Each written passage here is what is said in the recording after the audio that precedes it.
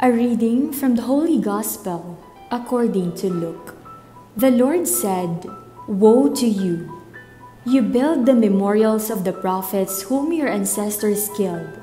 Consequently, you bear witness and give consent to the deeds of your ancestors, for they killed them, and you do the building. Therefore, the wisdom of God said, I will send to them prophets and apostles.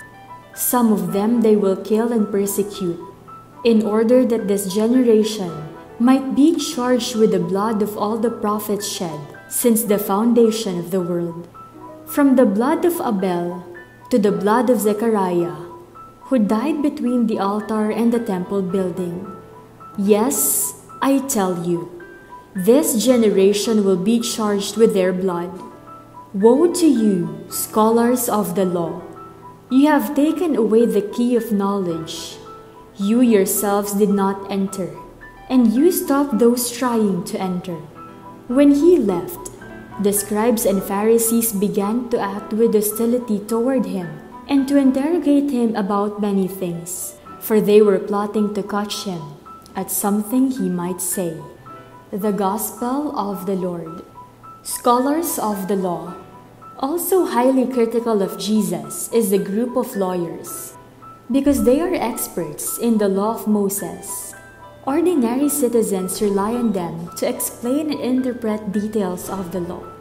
They feel alluded to and are offended when Jesus earlier made a pronouncement against the Pharisees. Jesus lashes out at some of the sins of the lawyers. He accuses lawyers of laying legal burdens on the shoulders of people without doing anything to help them. They show contempt on the simple people who have to contend with many of their man made rules and regulations. Jesus also tells the lawyers how they are following the footsteps of their ancestors who killed the prophets. Jesus is aware that the lawyers harbor in their hearts a murderous intent to get rid of him.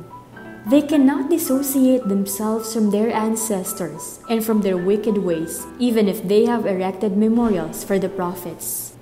Jesus points out how God sent prophets and apostles, from Abel to Zechariah, and how people who rejected God's salvation had killed them.